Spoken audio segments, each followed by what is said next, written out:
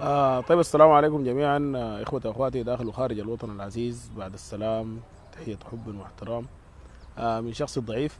آه حنتكلم في نقطتين آه الراهن الاجتماعي الحاصل حاليا في السودان بكل شفافية. آه حنتكلم عن الراهن السياسي ال- ال- ال- الحاجة المفروضة علينا والحاجة الحاصلة حاليا. آه للحابين إنه يا أخي يسمعوا الحاجة دي. آه اكون شاكر لهم جدا جدا.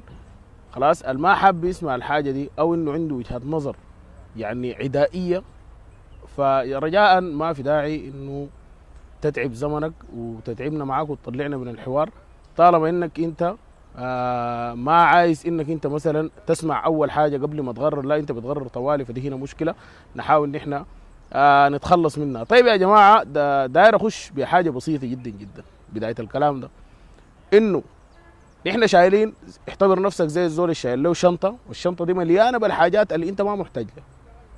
وفي الشارع اللي انت ماشي فيه في حاجات انت محتاج لها في أكل في شراب في مواد تموينيه في كده انت محتاج لها موجودة في لبس في كده في الشارع موجود. فانت ما داير يعني داير الحاجة دي لكن ما عندك لها مساحة في الشنطة عشان تشيلها فيها. ليه؟ لأنه خدت فيها حاجات قديمة حاجات انت أساسا ما شغال بها خلاص؟ خدتين فيها الماضي شايلين في الشنطة دي الماضي. حتى في الواقع السياسي نحن شايلين الماضي. في الواقع الاقتصادي الاجتماعي شايلين الماضي. الماضي في تفكيرنا في في في أسلوبنا في طريقة حياتنا. لا نحن نعاين قدام. الليلة ما مصلحتي ومصلحتك الليلة في مصلحة وطن كامل في مصلحة نازحين قاعدين في معسكرات اللجوء في مصلحة ناس آه شايلين شهاداتهم وقاعدين في البيوت في مصلحة ناس اتظلمت ودخلت السجون ظلم وبهتان الناس دي مفروض يرجع لهم حقهم. في مصلحة ناس بيمشوا المعاشات لحد يوم الليلة ما قادرين يصرفوا معاشاتهم. دي برضو مشكلة مفروض إنه إحنا نواجهها ونعاين لها بكل شفافية ونتكلم فيها بكل شفافية. الليلة مصلحتك ما معناتها أنت عشان مصلحتك أنت تجعل مصالح الآخرين. دي ما الحرية اللي إحنا بنتكلم عنها ودي ما الديمقراطية اللي إحنا بنتكلم عنها. شمال جنوب شرق غرب في الأول وفي الآخر ده شعب سوداني. ومن حقه إنه يا أخي يغرر مصيره ويتكلم في الحاجات اللي بتمسه والحاجات اللي بتهمه. خلاص ما أنا ولا أنت اللي بنفرض واقع على أي مواطن سوداني هو ما عايزه. لا ده نفس الفهم بتاع الكيزان 30 سنة بيفرض علينا واقع نحن ما عايزينه. الواقع الاجتماعي حاليا في السودان في غلاء في الاسعار مضغوطين الناس اقتصاديا في مشاكل أسرية حاصلة في تفاصيل كثيرة جدا جدا حاصلة في المشهد الاجتماعي السوداني. خلاص في الحاجة دي ناس كثيرين ما مراعين لها في مفقودين في مفقودين حاليا مفقودين ما معروف مصيرهم شنو وما معروف هم مشوا وين وما معروف الحاصل عليهم شنو وما في جهة دايرة تتحرك في مصير المفقودين. ما في جهة ما في زول داير يمشي يتكلم في حق المفقودين. ما في زول داير يمشي آه يتحرك الأجهزة الأمنية الأجهزة الاستخبارات ما في زول داير يتحرك في الحاجة دي حتى المحامين حتى ال ال ال ال الجهاز القضائي ما عايز يتحرك في الموضوع ده عشان شنو؟ ما قادرين نفهم نحن وين الشفافية في الموضوع ده ليه نحن الحاجة دي لازم نحن نقعد نعمل حملات في الفيسبوك وكده عشان أنتوا تنتبهوا لها ليه الحاجة دي الناس ما تنتبه لها من بدري؟ خلاص وتحاول هسه حاليا يكون عندهم أجوبة لما تسألهم تقول لهم عملتوا شنو في في ملف المفقودين؟ يكون في أجوبة واضحة جدا جدا إنه حصل شنو في ملف المفقودين؟ هل المفقودين ديل يتلقوا هل المفقودين ديل ما يتلقوا؟ هل المفقودين ديل يا أخي استشهدوا ربنا يرحمهم؟ هل المسجودين ديل المفقودين ديل عايشين؟ خلاص؟ ولو عايشين قاعدين وين؟ مصيرهم شنو؟ أهلهم ده المفروض يعرفوا الحاصل شنو؟ تمام؟ وحاليا أنا بسأل المجلس العسكري وبسأل الحرية والتغيير لأنه هو المسيطر حاليا على الوضع السياسي والوضع الأمني في البلد تمام؟ الاثنين ديل هنا المسائلين آه في وجهه نظري الاثنين هن المذنبين في الحاجة دي في إنه يا أخي ملف المفقودين لحد يوم الليلة في عليه تعتيم وعدم وضوح وضبابية كبيرة جدا جدا. المفروض الناس توضحها. دي هنا المشاهد الاجتماعية. قلنا الظروف الاقتصادية ماشية من أسوأ لأسوأ لأسوأ ونحن واقفين وبنعاين ولسه بنتجادل في الجدال البيزنطي. إنت عملت وأنا عملت وإنت عملت. يا أخي أنا عملت أنت تقدم. ما تقف أنت ما تقف أنا عملت أنت ما تقف أنت واصل. انت اعمل الحاجة الصح. في زول غيرك عمل حاجة غلط انت في وجهة نظرك دي غلط خلاص انت امشي اعمل الحاجة الصح. جو هيد تقدم ما انك انت تقف وتنتقد خلاص بطريقة ذاته انها ما ما, ما بترتقي للمستوى اللي إحنا بنتكلم عنه المستقبل السوداني السودان الجديد ال الوعي كيف انك انت تنتقد انتقادك ذاته يكون بأسلوب آه بناء عشان انت تفيد وتستفيد من من الحوار اللي انت بتتكلم فيه مع الزول ده أو من انتقادك له. الليلة يا أخي معلش جات داليا الياس اتكلمت قالت كلام. يا أخي ما ما ما ما قصة ماسي حاليا وما انت مست انت محتاج إنك تثبت رجولتك. خلاص بالكلام بتاعك إنك يا أخي أنا كده ولا أنا كده دي ما بتثبت رجولة. أنا دي ما بتثبت رجولة. ال- الرجولة عندها تفاصيل معينة. كونك إنك أنت زول كويس ولا ما كويس دي برضو عندها تفاصيل معينة. أنت بتعرفها والناس كلهم بيعرفوها. فما في داعي إنه أنا أسيء وأتكلم. دي برضو مشهد من المشاهد الاجتماعية. اللي بقى دسي حاليا يا أخي مؤثر على الساحة العامة. خلاص ومزعجة ناس كثيرين جدا جدا لأنه موجودين في الجروبات دي وفي الإنترنت ده موجودين آه، أطفال موجودين أسر موجودين أمهات وأخوات وزوجات.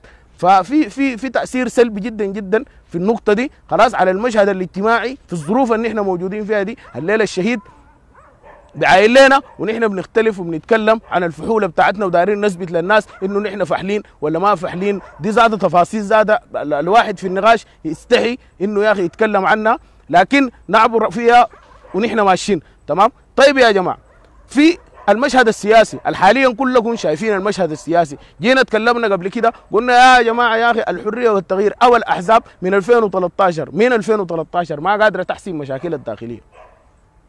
ما قادرة تحسم مشاكلها الداخلية من 2013 المشاكل الداخلية في تكويناتها ما قادرة تحسمها من بداية الثورة الشبابية ما قادرة تحسم مشاكلها الداخلية. نقدر ونحترم النضالات. لكن ده ما زمن إنه يا أخي أنت تجي تختلف ليه اختلافاتك دي حاليا؟ حاليا في أديس أبابا ما عارف يعرف إنه يا أخي في أديس أبابا قاعدة الحرية والتغيير بتتفاوض مع الحرية والتغيير. إذا كانت الجبهة الثوريه عندها ممثلين في الحرية والتغيير وماضيه وماضيه على إعلان الحرية والتغيير معناته الجبهة الثوريه عبارة عن كيان يسمى الحرية والتغيير. في وجهة نظري في المشهد أو في الملف السياسي الحاليا مفتوح في السودان ده اللي هو ملف الحوار تمام؟ والتفاوض ده ده أنا شايف إنه الجبهة الثورية هي موجودة داخله. هي ما في داعي إنها تختلف تاني من داخله. لا. وفد الحرية والتغ... الجبهة الثورية في الحرية والتغيير قاعد تمام؟ والجبهة والجبهة الثورية قاعدة برضه بتتفاوض في أديس أبابا. يعني الحرية والتغيير بتتفاوض مع الحرية والتغيير. نقدر نركب الكلام ده كيف؟ دي أي واحد مع مع مع, مع نفسه. يركب الحتة دي كيف؟ إنه كيف الجبهة الثورية عندها ممثل وماضي على إعلان الحرية والتغيير وحاليا هي بتتفاوض تمام؟ طيب ليه ما حسمتوا الموضوع ده من زمان؟ دي المشكلة ان إحنا بنتكلم عنها المماطلة. دي المماطلة. من المجلس العسكري إحنا بيجينا مماطلات ومن الحرية والتغيير بيجينا مماطلات وفي نفس الوقت المشهد الاقتصادي مؤلم جدا جدا في السودان. والناس لما تتكلم تتخون. تقيف ضد الرأي تقول رأي مختلف لا تتخون انت زول. ليه؟ عشان يحصل تعتيم وضبابية على الرأي بتاعك والرأي بتاعك ما يصل للناس والناس تشوفك انك زول خاين وما تسمع لك أساسا. ودي الفكرة أساسا من من الإشاعات أو التخوين عموما. تمام؟ فالفكرة يا جماعة هنا ما إنه يا أخي الجبهة الثورية بتتفاوض مع الحرية والتغيير والحرية والتغيير هي ذاتها الجبهة الثورية. لا نحن نعرف الحرية والتغيير دي إنه ناس وقعوا على إعلان وثيقه بتاعت حرية وتغيير. طيب كويس الناس اللي وقعوا دول سموا نفسهم قول الحريه والتغيير من ضمن الناس اللي وقعوا دول الجبهة الثورية. طيب ليه الجبهة الثورية توقع على الكلام ده وتجي تاني هي تنتقد الكلام ده؟ خلاص وتبقى إنه إحنا نبقى بنفاوض في نفسنا نبقى بدل ما نحل مشكلتنا مع الناس اللي برا نحن بنحل في مشاكلنا مع نفسنا. مع نفسنا. أنت بتحل في مشكلتك مع نفسك.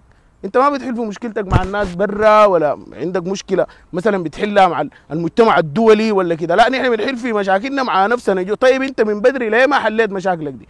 ليه من بدري ما اتطرقت انك انك انت تحل مشكلتك مع مع الجبهة الثوريه إذا كانت هي الجبهة الثوريه دي هي الماضية معاك هي اللي مضت معاك في يوم من الأيام على الوثيقة بتاعت إعلان الحرية والتغيير. وين دور تجمع المعنيين هنا؟ إذا كان قدم للجبهة الثوريه دي الوثيقة ومضت عليها. طيب بتتجرجر الليلة ليه؟ ليه الجبهة الثوريه جاية الليلة بتتجرجر؟ ما كان كلامها ده تقوله للناس ديل بالوضوح. طيب نجي راجعين تاني لنقطة تانية في المشهد السياسي ان إحنا بنهرب منها برضه وما دارين نتكلم فيها. قالوا نحن من البداية بنتكلم عن كفاءات تكنوقراط لا حزبية مستغلة. ناس يجوا متعلمين فاهمين ما عندهم انتماءات حزبية أو انتماءات حركية أو من أي مكان في السودان شرق غرب جو شمال جنوب أي مكان.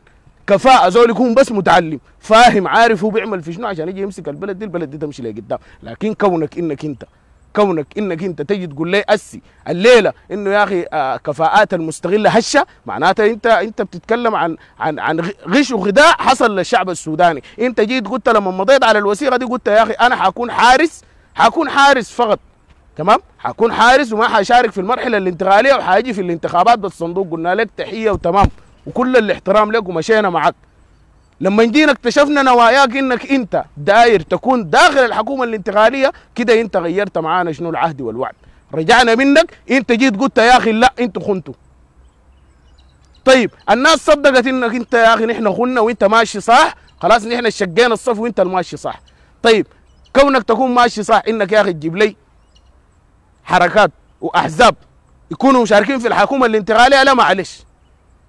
جيب لي مدنيين. ناس يكونوا مدنيين من أي مكان. الناس اللي بيقول لك يا أخي ناس المعادي الحركات ما في زول معادي الحركات ما في زول معادي إقليم. جيب من أي مكان جيب رئيس المجلس السيادي يكون من من الشرق من الغرب من الشمال من الجنوب من الوسط من أي مكان بس يكون زول متعلم.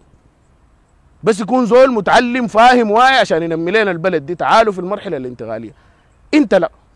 انت هسه حاليا قاعد في اديس ابابا بتقسم فيها. أنتوا تمشوا لكده وانتوا تاخذوا كرسيين في المجلس السيادي وانتوا تاخذوا كده. وده ما كان اتفاقنا. ده ما كان اتفاقنا معاكم نهائي.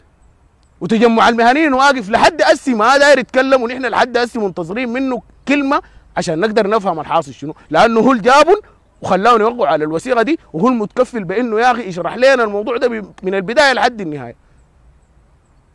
لكن كونه إنه نحن نمشي بفهم. وسي حاليا يكون ده الفهم الفهم يتغير. ده والله انت لو قابله نحن ما قابلين أقول الدار تقوله بعد. المشهد الاجتماعي قلناه يا جماعة. وده المشهد السياسي الحاصل. الحل شنو؟ الحل إنه الناس تتوحد والشارع ده بس. تسقط يسقطوا كلهم. وين الكيزان؟ كيزان وين؟ رجعت. البكاسي تحت الجهاز رجعت. يعني احتمال في أي يوم في الأيام دي الناس يتم احتغال مجموعة من الناس وبكرة مجموعة ثانية ومجموعة ثالثه والناس ينسوا الثورة خلاص. وننسى الشهداء وديك يكونوا لسه في اديس ابابا الكلام ده كده ما بيبقى. الشارع بس. الحاجة جابت تجمع المهنيين ده الشارع وجابت الحرية والتغيير ده الشارع ونحن بنمشي الشارع. والبيجي تاني عشان البيجي تاني يتكلم خلاص احترمنا نحن واحترم الميثاق العهد والعهد اللي نحن تعاهدناه مع بعض وتعاهدناه مع الشهداء المشوا ديل العهد ده يقيف عليه. ما إنه يجي يخون العهد هسه حاليا. ما تقول لي يا أخي هسه حاليا كفاءات حزبية. ما في نحن متفقين على كفاءات مستغله أمشي كان توري معجوب كان توري الشهداء ديل تقول لهم يا أخي والله نحن حنغيرها بدل كفاءات مستغله تجي تنمي البلد دي وتحلحل المشاكل اللي فيها. لا نحن نجيب تكتلات حزبية وإسمية وحركية عشان يقعدوا يشاكلوا لي أي وزيرين أي واحد من حزب يشاكلوا لي مع بعض. والبلد تضيع تاني زي ما ضاعت. وأي زول يشغل في الوزارة بتاعته الحزب اللي هو دايره والحركة اللي هو دايره ده ما الكلام اللي نحن متفقين عليه. نحن متفقين شخصيات وطنية متعلمة. جيبهم لي من أي مكان في السودان.